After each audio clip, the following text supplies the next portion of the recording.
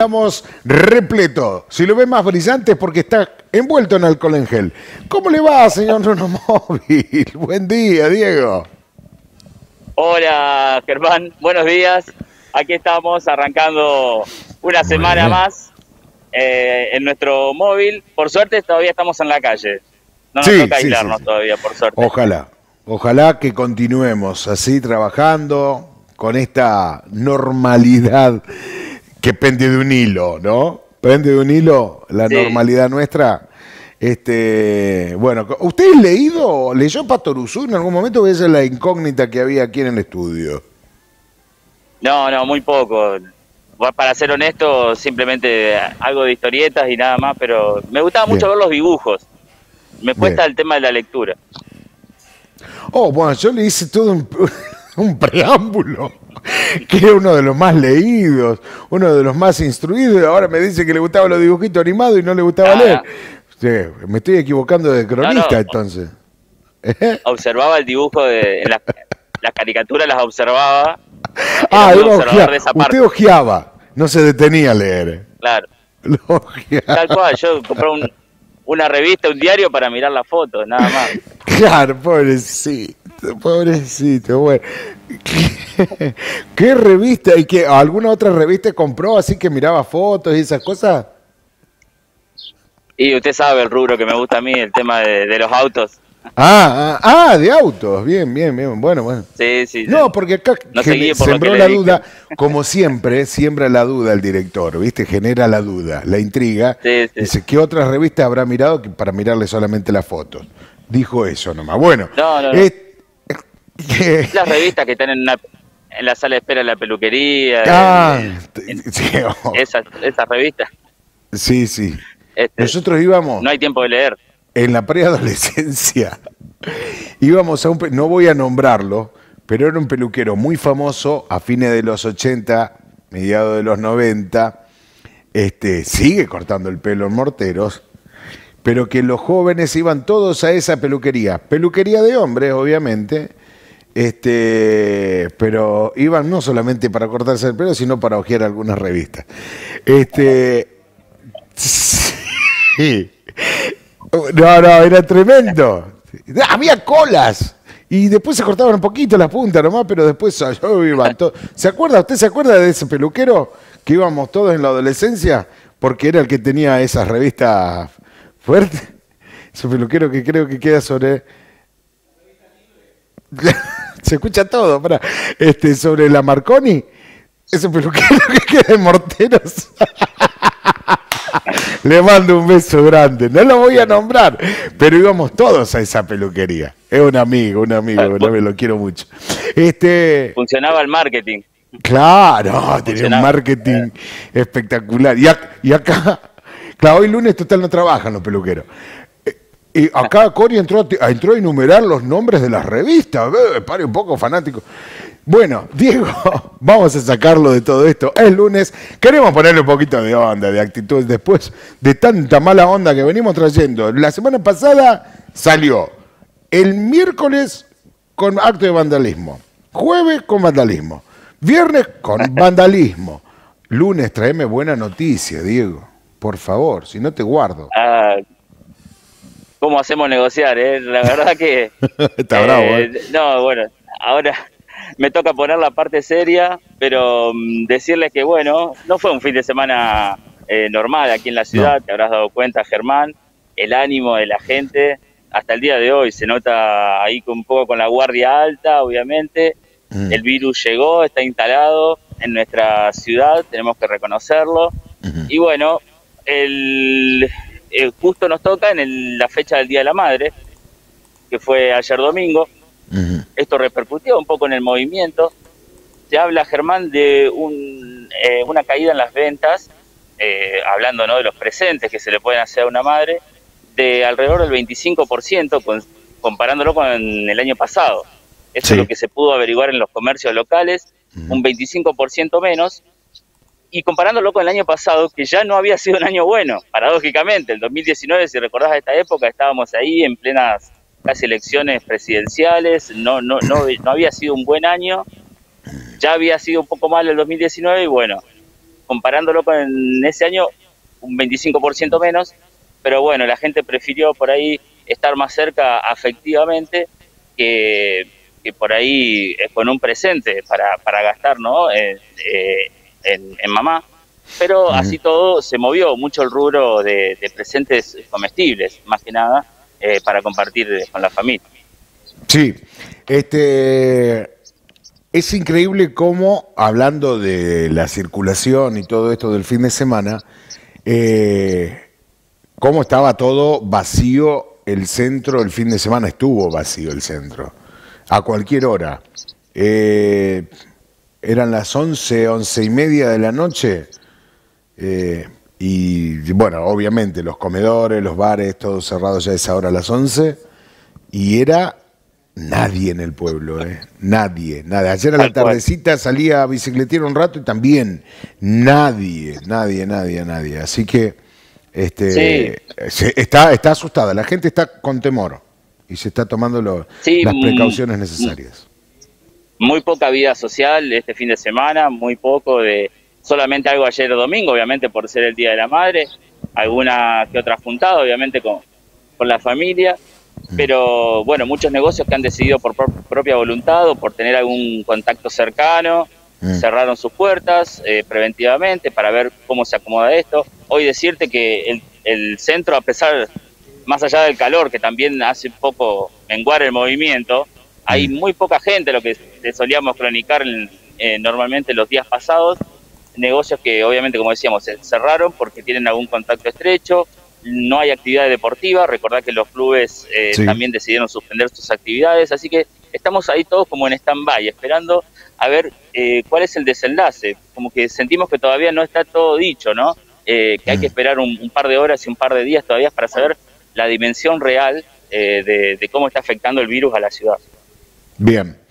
Este, bueno, esperemos. Hay, eh, como lo decimos en el flash que va a salir en un ratito, se, están, se van a realizar en esta jornada testeos también a la gente de personal de salud aquí en nuestra localidad, ¿no? Porque uno de los contagios o uno de los casos salió desde eh, la clínica privada San Justo.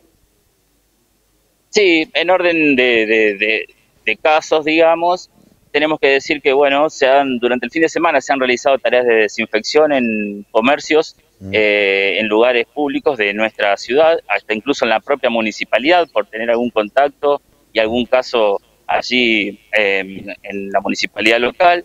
También, bueno, como decís, algún eh, caso que surgió desde la clínica local eh, San Justo, entonces también hoy es tarea de desinfección y de testeo al personal. Veremos justamente eh, qué, arrojado, qué resultados arroja todos estos análisis que se van a hacer en las próximas horas. Realmente pasamos de en una semana que teníamos cuatro casos a más de 30 en la noche de ayer y, y lo peor es que se supone que este número va a seguir creciendo en las próximas horas. Seguro. Eh, bueno, así como lo decíamos, hay muchos, muchas instituciones, los nombrabas recién, algunos de los clubes, por ejemplo, y hay instituciones que han tomado la determinación de no abrir o de restringir los horarios y, días para eh, su atención al público. Uno de ellos es el caso, ahí le estoy pasando al señor eh, director, uno de ellos es el caso del Centro de Jubilados y Pensionados de Brickman, ¿no? Que informa que ante el crecimiento de casos positivos en nuestro medio y cuidando a nuestros adultos mayores, se ha restringido la atención al público, que será lunes y miércoles de 8 y 30 a 9 y 30 horas, sin excepción y solo para autorizaciones de órdenes se va a atender. ¿eh? te este, cuidás, me cuido, nos cuidamos, la comisión directiva Sergio Cosi, presidente.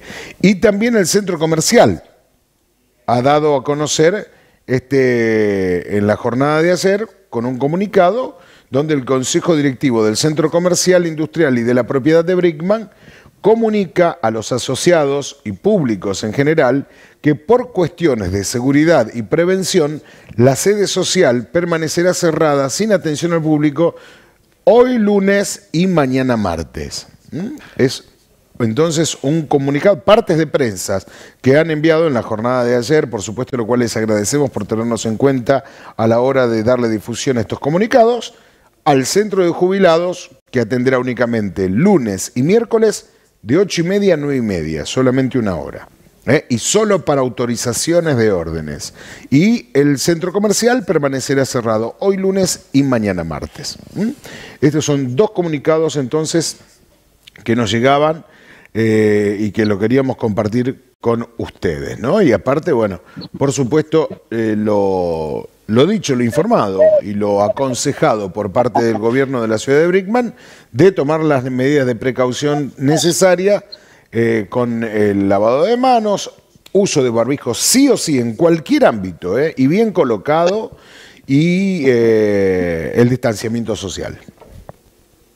Sí, así es. Eh, las recomendaciones propias del caso, obviamente, salir si es necesario, eh, con todas las medidas de precaución, como vos lo decía Germán, y también para la gente de los comercios, ¿no? Eh, redoblar los esfuerzos, por ahí se había aflojado un poquito con la atención, volver a, a la alfombra sanitizante, al alcohol en gel y demás, para cuidarnos entre todos, obviamente el barbijo, y como vos decías, consultar antes si hay que hacer algún trámite con las entidades locales, porque en muchos lugares hay guardias mínimas, se mm. han desdoblado los personales y en otros atención con turno. Así que no podemos enumerar todas las instituciones, estas es algunas de las que nos han llegado, pero consultar primero telefónicamente antes de, salir a la calle para, para hacer algún trámite.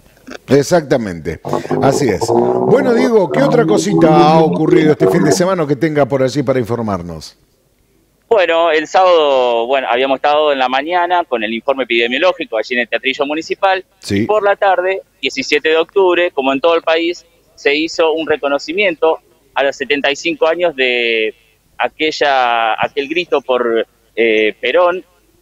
Y bueno, toda la familia justicialista realizó diferentes actos. Aquí en Brickman, particularmente, un reducido grupo que se acercó a hacer una ofrenda floral allí en el busto de Eva Perón, en pleno centro, y después se trasladó a la rotonda de acceso este para dejar otra ofrenda floral allí en el busto de Juan Domingo Perón y hubo unas breves palabras de Hugo Tosolini, el presidente del Partido Justicialista de Brickman, y de Gustavo Tevez, el actual intendente, recordando esta fecha. Si te parece, lo compartimos, Germán.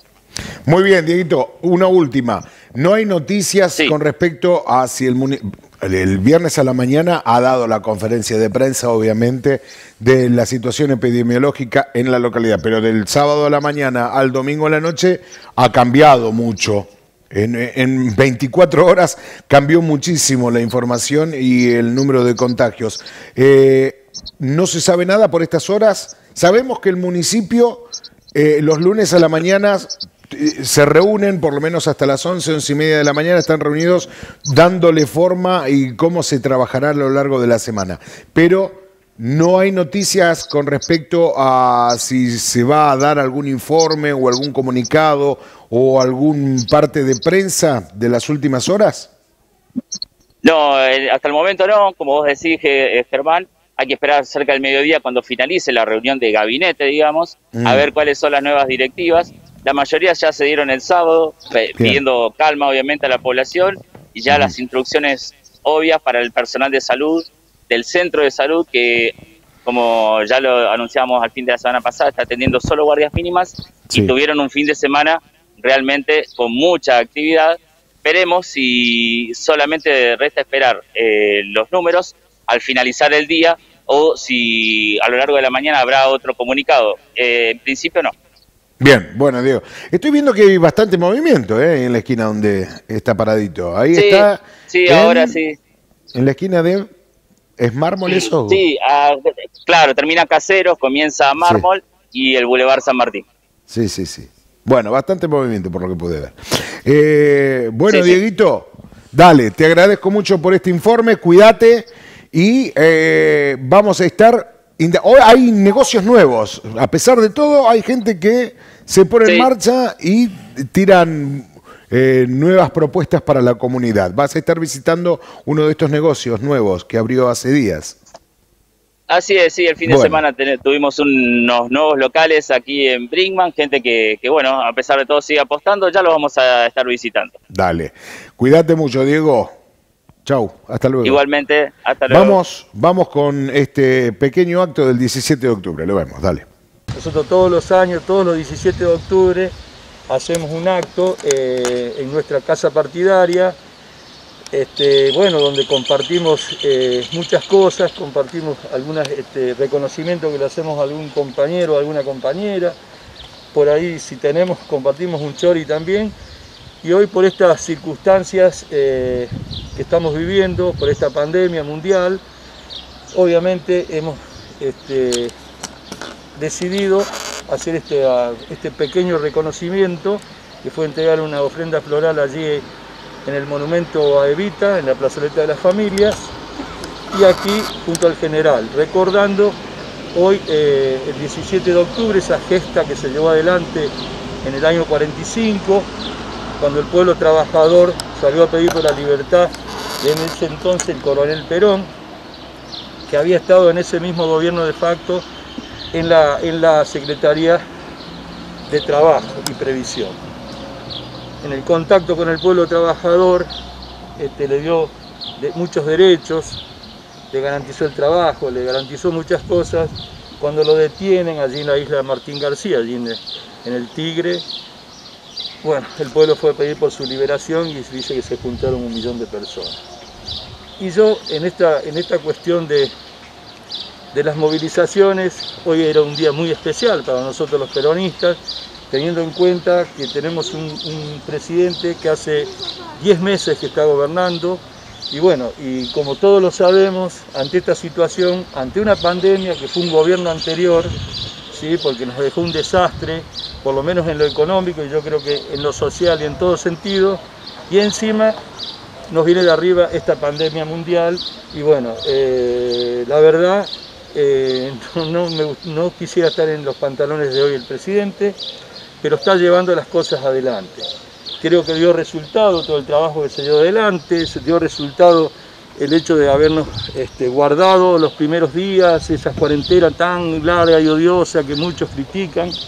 Yo estoy convencido que el resultado, si no, estaríamos viviendo otras situaciones muy, de mucho más emergencias y mucho más muertos y, yo creo que con sistemas sanitarios colapsados. Estoy, pero seguro, hubiese seguido un gobierno como el anterior, seguramente que pasaba esto. Hoy el pueblo peronista este, a través de las redes sociales que dicen se han colapsado y a través de una movilización que no se les pidió que no se haga, que, no se haga, pero tuvo la, yo creo que tuvo la necesidad de salir en respaldo de nuestro presidente, en respaldo del compañero Alberto Fernández y en respaldo de la compañera Cristina Fernández de Kirchner. O sea, nosotros humildemente desde aquí también adherimos a esa movilización y bueno, yo este, les pido disculpas que hemos hecho algo muy, muy, muy sencillo, pero les agradezco a todos y a todas este, la presencia, que se han tomado la molestia de venirnos hasta aquí y decirles simplemente viva Perón y todo se va a solucionar, querido compañero. Muchísimas gracias. Ahora, Gracias nuevamente por haber acompañado en el gusto de Eva Perón, en el monolito al general Perón. Y bueno, hoy es una fecha muy especial. Eh, hace 75 años eh, nacía el movimiento político que transformó y revolucionó a nuestro país. Un movimiento político que a pesar del paso del tiempo perdura. Eh, y no solamente que perdura, sino que se agiganta y crece. Y hoy escuché muchas cosas, ¿no? Pero rescato una de un analista político uruguayo que decía que en la década de 1940 se formaron muchos movimientos políticos y muchos jefes y líderes en América Latina y en el mundo entero, y especialmente después de la, de la posguerra. Generales que ganaron guerras, otros que sacaron a sus países de las crisis de las guerras, pero que una vez que ellos murieron, esos países prácticamente los olvidaron. A diferencia del general Perón, que 75 años después de aparecer en la vida pública y política de nuestro país, sigue tan vigente como en aquel entonces. Por eso creo que es una fecha muy especial y muy importante y la tenemos que revalorizar ¿eh? y principalmente transmitir los valores e ideales del justicialismo. Justicia social, independencia económica, soberanía política, pero por sobre todas las cosas, un gran respeto a los seres humanos.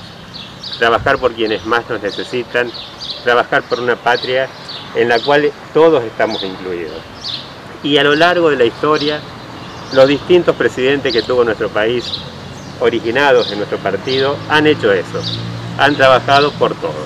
Así que adhiero las palabras de, de nuestro presidente partidario y los invito a seguir transitando por esta vía, la vía pacífica, la vía del diálogo, la vía de llevar las banderas del justicialismo adelante, pero siempre respetando a los demás. Muchas gracias, feliz día de la lealtad para todos. Bueno, allí estaban las imágenes y las palabras en el acto del 17 de octubre, realizado tanto aquí las imágenes en la plazoleta de la